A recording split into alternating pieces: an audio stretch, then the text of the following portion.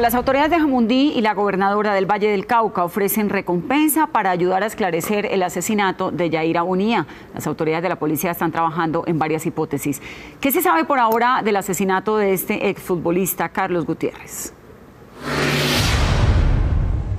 Vanessa, muy buenas tardes. En estos momentos, de acuerdo con la información que ha emitido la Policía Metropolitana de Cali, se está trabajando en dos hipótesis, pero ese manejo se le está dando de manera reservada porque no quieren entorpecer la investigación. Lo que sí se ha podido establecer hasta el momento es que hay cuatro personas, sujetos plenamente identificados, que al parecer dos de ellos habrían participado de este crimen. Se está esperando un cotejo por parte de algunas personas que presenciaron este hecho. Lo que han pedido los habitantes de esta población es que lo más pronto posible sea capturada la persona que asesinó a este líder deportivo del municipio de Jamundí.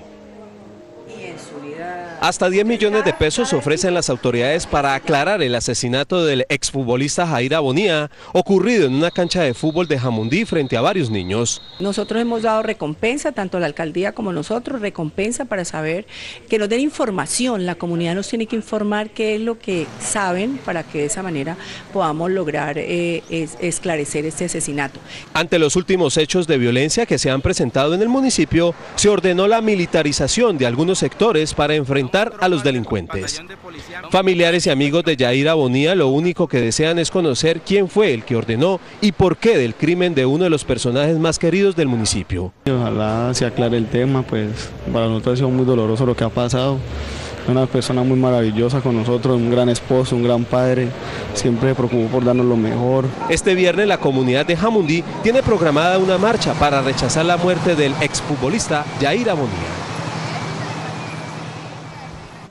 Y a esta hora de la tarde, amigos, familiares y personas que han conocido a Yaira Bonía le rinden un homenaje aquí en el auditorio de la Casa de la Cultura del municipio de Jamundí. En horas de la tarde se tiene previsto que se realicen las honras fúnebres. Mañana también va a haber un consejo extraordinario de seguridad. Va a ser liderado por la gobernadora del Valle, Dilian Francisca Toro, quien va a analizar junto con las demás autoridades militares y de policías qué estrategias se van a adicionar a esta intervención que ya inició en este municipio. Esto con el objetivo de frenar el fenómeno delincuencial que tiene azotados a los habitantes de esta población ubicada en el sur del Valle del Cauca. Información a esta hora de la tarde en el municipio de Jamundí, en el Valle del Cauca. Carlos Gutiérrez, Noticias Caracol.